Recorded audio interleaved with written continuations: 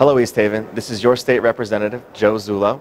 I'm coming to you today because in the next couple of weeks, we're going to be taking up the issue of tolls in the legislature. When I was going door to door, it was overwhelmingly clear that residents were opposed to tolls. I want to confirm that because this is going to be one of the most important votes we take all year long, and I want to make sure that whatever I vote for ends up reflecting what my constituents care the most about.